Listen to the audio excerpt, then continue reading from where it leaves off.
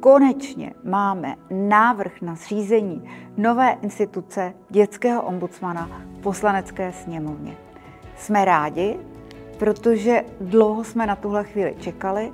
Už v minulém volebním období jsme se o to snažili a jsem ráda, že byť se nepodařilo prosadit legislativně mnohem jednodušší návrh nového zákona, který by byl věnován jenom dětskému ombudsmanovi, podařilo se alespoň posunout návrh na novelizaci zákona o veřejném ochránci práv, který také zavádí novou instituci eh, dětského ombudsmana, ochránce práv dětí.